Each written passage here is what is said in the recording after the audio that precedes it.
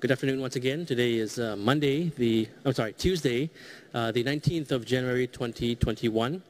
I'll start off with uh, the summary that uh, Dr. Taweesilp, the spokesperson, had uh, delivered just, just now. It's very important.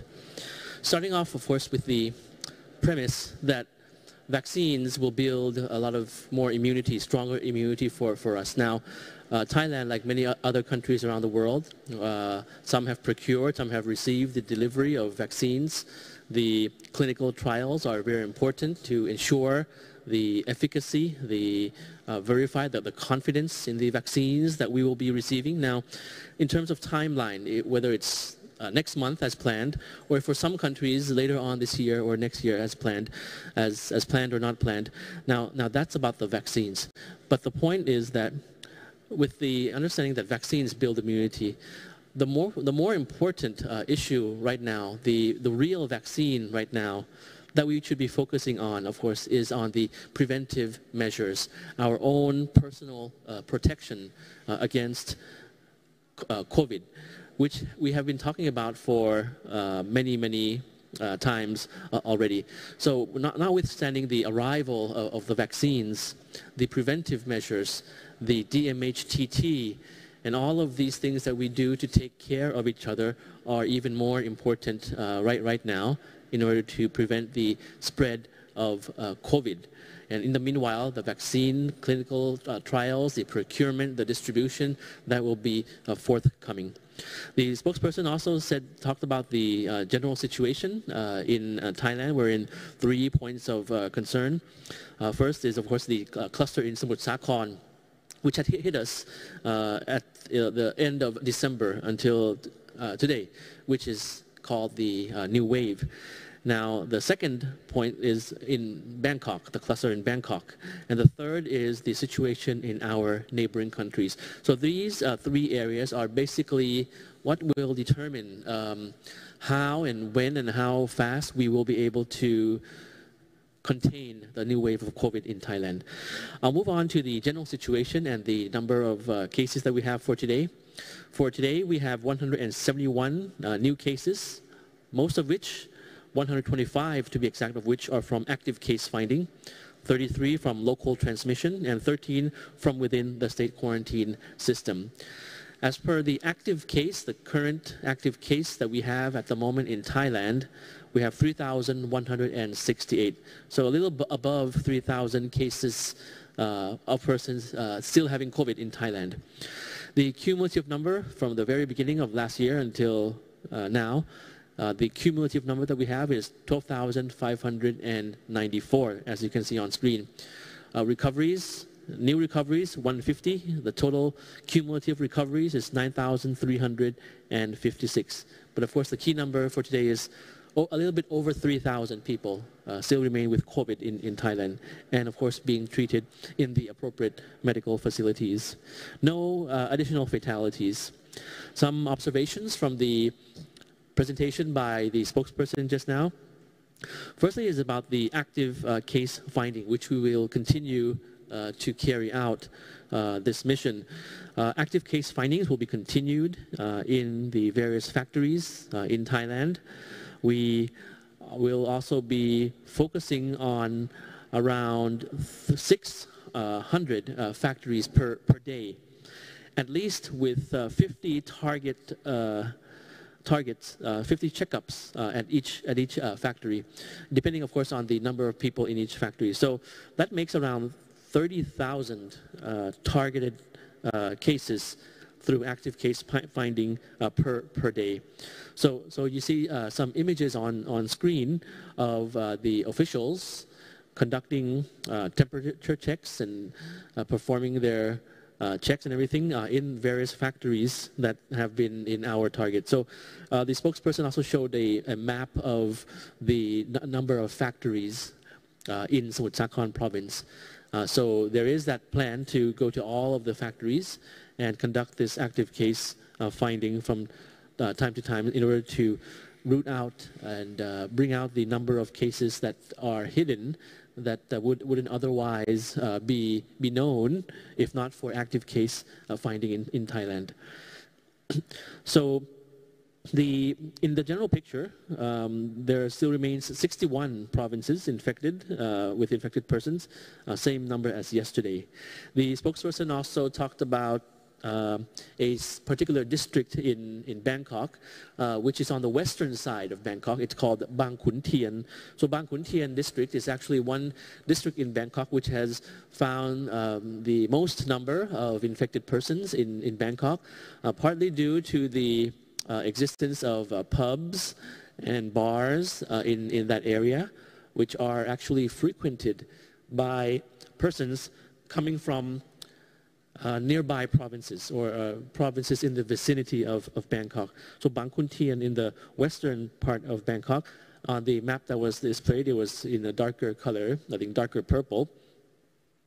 Um, the southern provinces also was mentioned by uh, Dr. Taweesilp, wherein as while we still have not a high uh, number of uh, risk in the southern provinces as compared to other regions, the southern provinces still have to be on a very how shall, how shall I say, a vigilant uh, lookout uh, because of the high number of cases daily in our neighboring country in, in Malaysia, around 3 to 4,000 uh, cases daily in Malaysia. So they would have to be on the lookout. The active case finding, the strict uh, screening, uh, rather, has been performed in uh, points of entry. for example, in Hat Yai, airport in, uh, uh, in southern Thailand, as, as well as other points of entry in the southern region. So moving on to the uh, additional information that I'll be providing. First is about the uh, economic impact of the wave. So despite the new wave, the Bank of Thailand has come out with, uh, they had a media uh, briefing the other day, and they came out with an estimation that the economic impact of the situation will be more or less uh, milder than that of the first uh, wave, the first outbreak. So the Bank of Thailand uh, stressed that although uh, in this new wave, the COVID is spreading faster, but the government has been doing its best to maintain the economic activity by ensuring preventive measures against the outbreak uh, that is uh, less, uh, more, more flexible, I, I, would say, for businesses to be able to operate. And fewer businesses have been suspended compared to the first uh, wave of infections. While this time around, the exports have continued to expand in line with international partners. So in at the same time, the timeline for vaccine development in Thailand and around the world has become uh, more, more or less uh, uh, clearer with, with a plan for every country, leading to more uh, confidence uh, for a stable prospect for the economy of, of Thailand and for the region as well.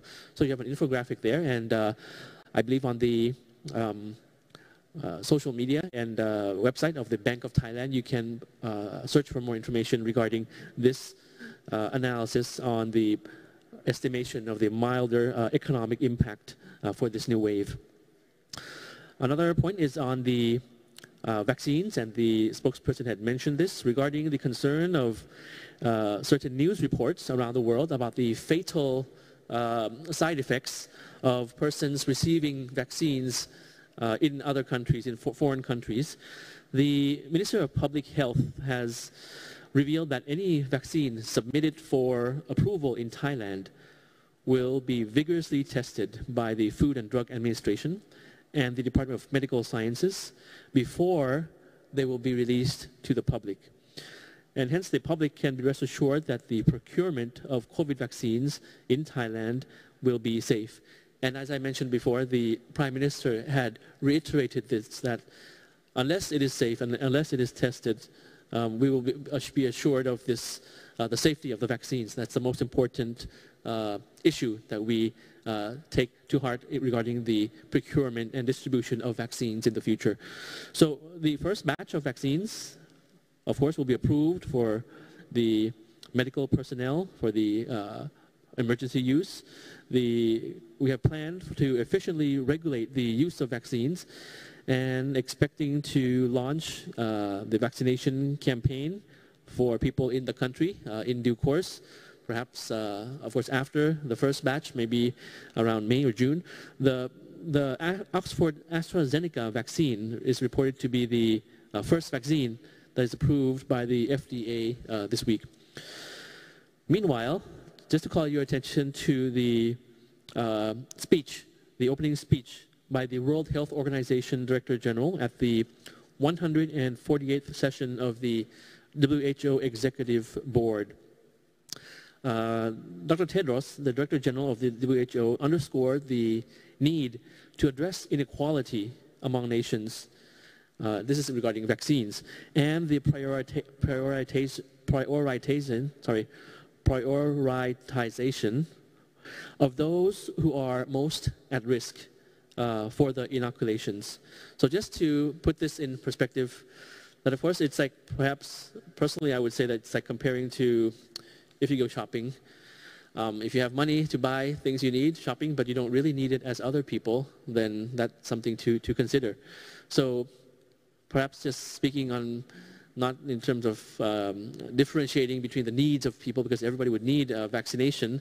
That would be very important and not to uh, differentiate or distinguish or discriminate at all uh, in terms of uh, developed countries or developing countries, but just to take into consideration, I think that's the, the, the gist, the point of this uh, opening remark, that inequality in terms of access is, is, is prevalent in, in, any, in anything that we see in the world and prioritizing I'm sorry, that was a mouthful.